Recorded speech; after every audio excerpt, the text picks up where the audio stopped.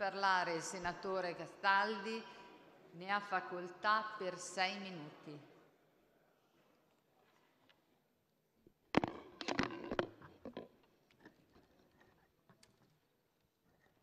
Signor Presidente, cari colleghi, io vorrei iniziare questo mio breve intervento ricordando un valore molto importante, il valore della lealtà.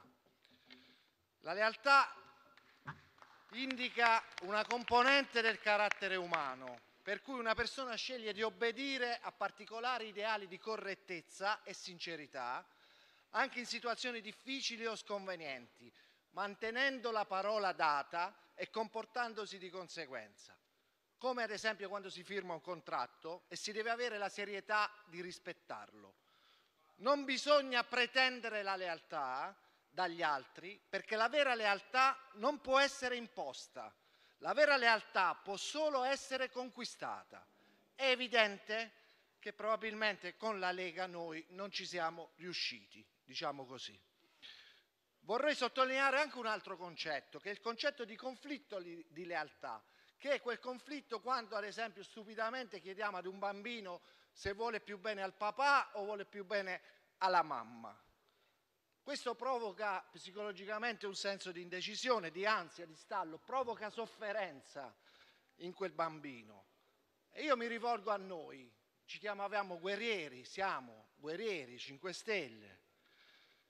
Il sistema politico ci ha fatto proprio questa domanda, in maniera molto subdola, per metterci in difficoltà, per tentare di distruggerci dall'interno.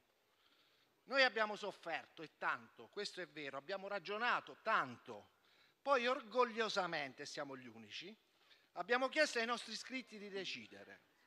Non certo hanno deciso se vogliamo più bene alla Lega o al Partito Democratico, la risposta sarebbe scontata. Gli iscritti del movimento hanno scelto se continuare ad ottenere risultati positivi per il popolo italiano. Questo hanno scelto. E io lo voglio rivendicare, il movimento al governo ha ottenuto fino ad oggi risultati eccellenti per i cittadini italiani, dal reddito, quota 100, decredibilità, spazzacorrotti, eccetera, eccetera, eccetera. Eccoci qua, trascinati, almeno per quanto mi riguarda, dal ricordo di quando Don Milani ricordava che avere le mani pulite e tenerle in tasca serve a poco. Noi che siamo portavoce eletti del Movimento 5 Stelle ci troviamo ad eseguire la volontà della maggioranza degli iscritti e ci troviamo a votare favorevolmente per la seconda volta nella nostra giovane storia una fiducia ad un governo che vede noi schierati insieme ad una vecchia forza politica. Fu la Lega mesi fa e il PD oggi. Quindi colleghi, attivisti, simpatizzanti, cittadini, insomma, voglio citare Brecht. Ora non è il momento adatto per, eh, vincere, ma bensì quello per combattere le sconfitte. E io direi la sconfitta della lealtà che poc'anzi ho richiamato.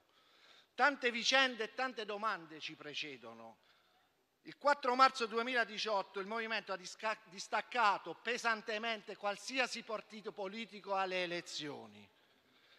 Ma attenzione, riceveva solo il 32% del consenso elettorale, che si rivolgeva ancora una volta per il 68% ai soliti partiti politici. E la breve storia che abbiamo alle spalle, chi ha seguito le nostre sorti lo sa, ci ha messo sempre davanti ad un bivio, sempre. Da un lato la tentazione di estraniarsi dal mondo della vecchia e marcia politica e dall'altro l'esigenza di non sottrarsi alle necessità, di prendere posizione, di cimentarsi con la realtà, con le sue asperità e con le sue contraddizioni.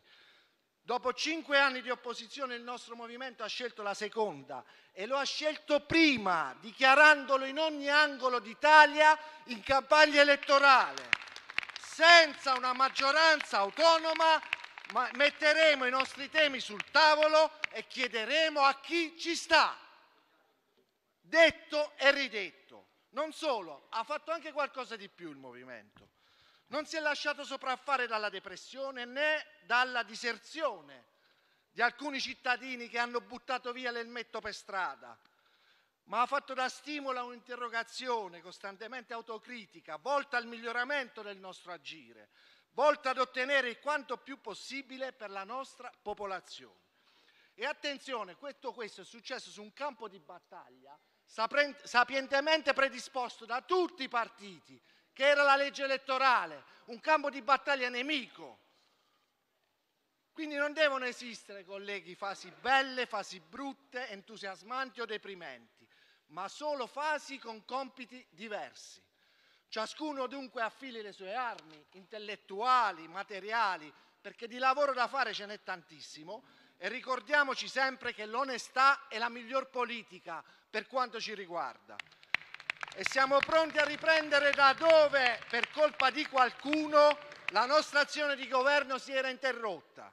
E lo faremo dando il massimo, come sempre, lo faremo con tutte le nostre energie, perché abbiamo il dovere di dare linfa alle istanze dei cittadini.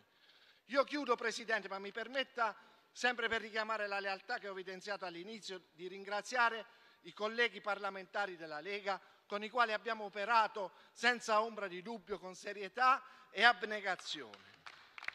Il mio personale rispetto, in alcuni casi sfociato anche in una bella amicizia personale, continuerà a prevalere nei miei comportamenti. Auspico che questo avvenga anche con i colleghi dell'attuale maggioranza, con i quali, ed è inutile negarlo, ci siamo per anni pesantemente scontrati verbalmente. Oggi il nostro movimento, come 15 mesi fa, ha messo i temi importanti del nostro Paese al centro. Stavolta però, diversamente da un anno fa, il Partito Democratico ha detto sì. Bene, partiamo insieme con le migliori intenzioni e ricordiamoci sempre di essere leali a vicenda. Senza lealtà non c'è solo l'amicizia, l'amicizia tra noi è l'ultimo dei problemi che hanno gli italiani. Senza lealtà prevalgono gli interessi personali e non si riescono ad ottenere risultati per gli italiani. Il movimento riprende il suo cammino con passione e serietà e io auguro a tutti noi di farcela.